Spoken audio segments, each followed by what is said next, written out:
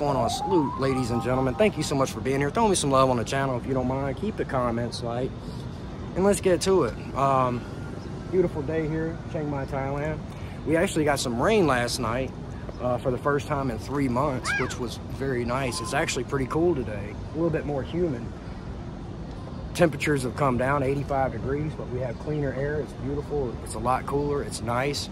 It cleaned it up a little bit. So with that said, things are pretty good about to head to work, about to go uh, open up open up the uh, shop. But one of the things that I did not uh, foresee was the amount of hate that I would get sometimes. And I'm not talking about on this platform because I also do TikTok as well. Well, I'm actually, I've got, you know, almost 20,000 followers on TikTok. But I get a lot of love, but I also get a lot of hate. I get people calling me. I get people telling me, well, this shit's gonna fall apart. You know, I'm paying this chick you know, I'm giving her money and as soon as the money's gone, she's gone. I've got all kinds of stuff, you know, and I'm talking about just a video talking about how I was met at the airport uh, when I came back from America recently. And she had a bouquet of flowers that she made for me. And it, it, it, just something even positive, I get tons of hate on it. So with that said, like, this isn't the first video I got hate on, but to be fair, I got to a point where it just it just makes it just empowers me even more. You know, I I, I appreciate the hate. Like, go on and hate while you watching over there from the west where everything's collapsing. You know, um, it's amazing how people don't want to see people happy. You know, it's like, you know, even when it comes to the guys that leave America to come and search for, you know, a better life. Which let me go ahead and say this. Listen to me. Women do this too Many women move here and do the same thing I'm doing. Not looking for a man, just like I didn't come here looking for a woman.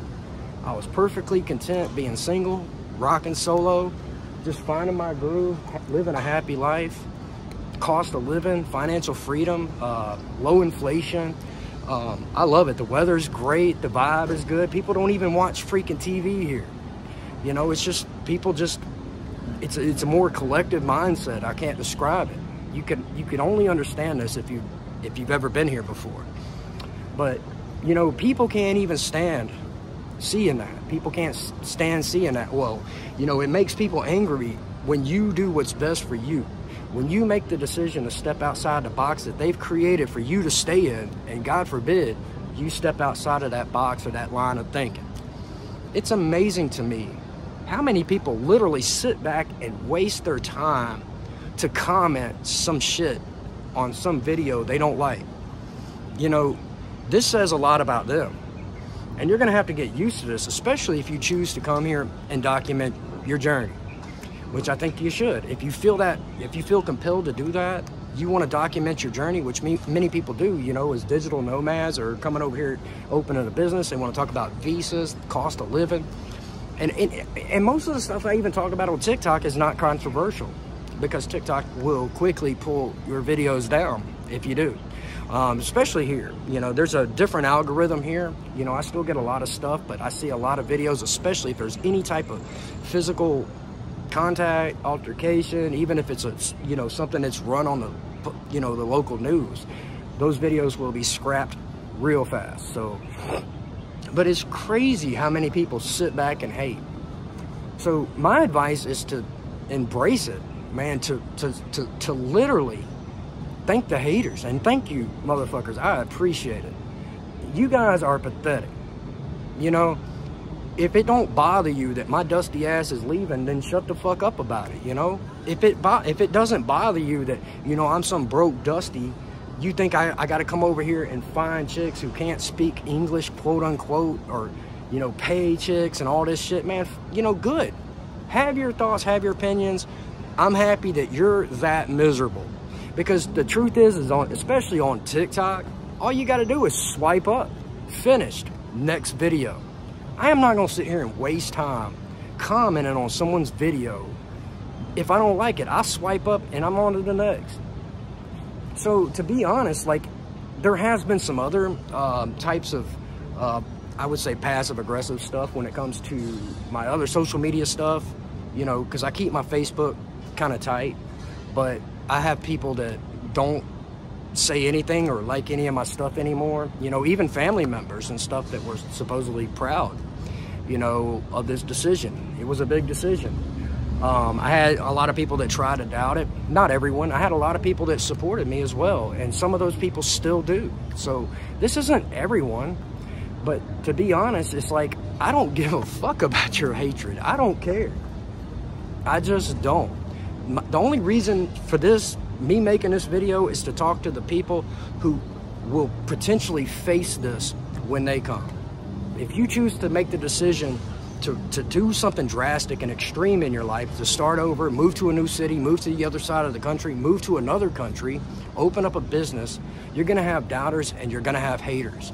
And you're gonna be surprised that some of them, some of them are really, um, that you thought had your back the whole time will just fall off. You know, a lot of the people that you've known for a long time, they won't necessarily hate, but they will just stop interacting at all.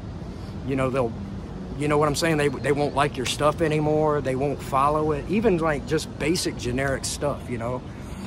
It's kind of crazy to me, but it also reinforces the reason why I came here in the first place. You know, I'm tired of fake ass people. I'm tired of the fake ass media. I'm tired of what's being done to the West, the, the, the psyop when it comes to the, to the media, the, the propaganda, when it comes to, you know, living from one extreme event to another to, to, to the mass events that continue to happen. You know, everyone's having to sit here and just stress about the election coming up. I love not having to stress about it. You know what I'm saying?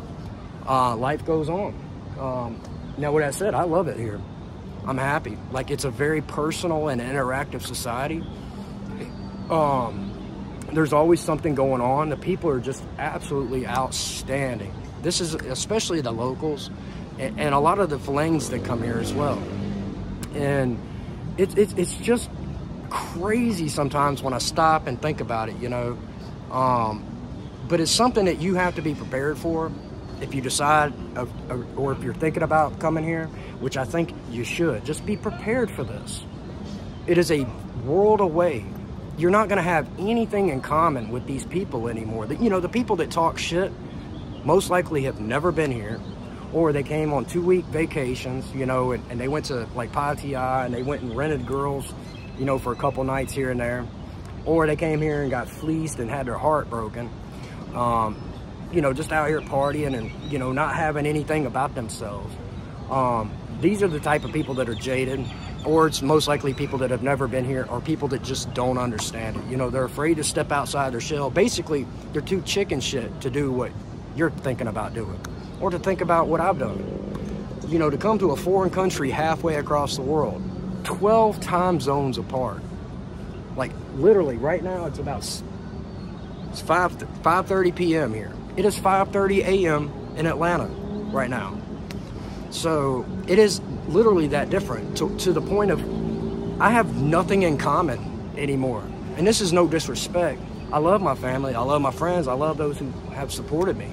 And I even love the people who don't. I'm not going to sit here and waste and give my negative energy like that. You know what I'm saying? I'm not going to let it affect me. But with that said, sometimes when you're onto something, you're going to get the most resistance and you have to be prepared for that. Don't take it personal because it ain't personal. It's personal with them. People are not going to understand. People are going to talk you out of it. They're going to hold you back. You just have to be committed and pull the trigger many people that come here and do exactly what I'm doing, and I'm talking about women too. Listen, it ain't just men coming here. Man, a lot of women come here and, and move here because they like the simple life. They love the markets. They meet other friends here. You know, a lot of women are digital nomads now. You know, like I would argue it's about half and half. Seriously, like it's not just guys coming here who can't get laid.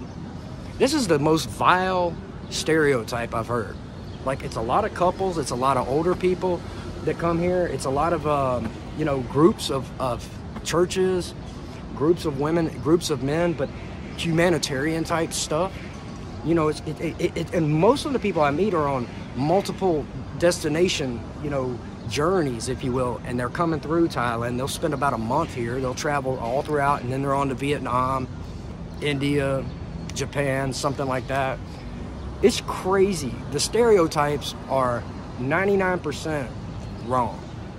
there are a few stereotypes, and this really typically applies to the party towns like, you know, Pattaya, Phuket especially.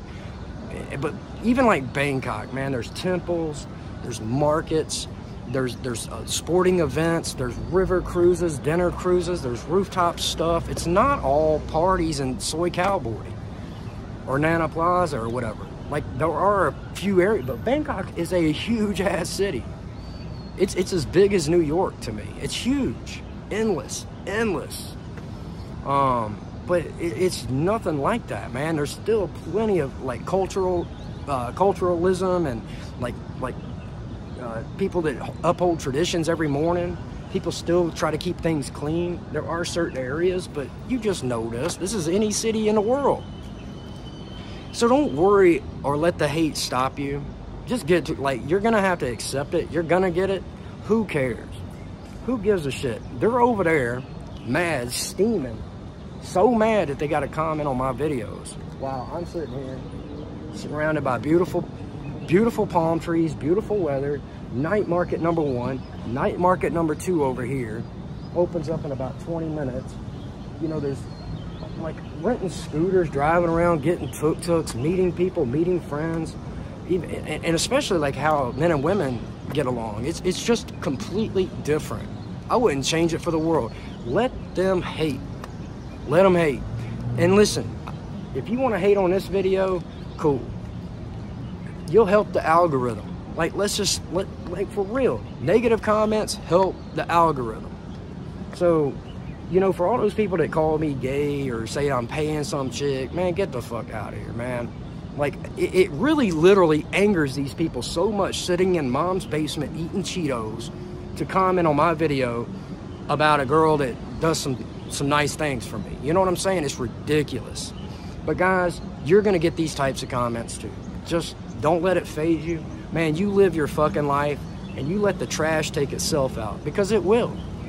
You will see, you will lose people. Yes, you will. There's the distance factor is one of the main reasons you'll lose people, but you'll have nothing in common anymore. And that's a big thing to let go. That if I go home back to America, I'd have nothing to talk about except for my experience here in Thailand. Like that's all I want to talk about. It's been the most exciting thing. Um, like living here. Like it hasn't been all perfect, no, but it's been. You couldn't pay me to go back to the West. I would be miserable. Like even just going back recently, I three or four days, I was ready to come back. I love it here, man, for real. I love the prices, the cost of living, the standard of living. It's just quality. Um, the people are just kind and respectful. The traditions, the culture, the food is outstanding. Um, but it's just a great place to be. So let the haters hate. Know, know that it's coming. Don't let it stop you. Don't let it deter, deter you from making that choice if you're considering this. It's a big decision.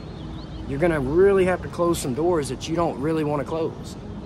But if that's what's compelling you, your intuition, your gut's telling you, don't let it stop you.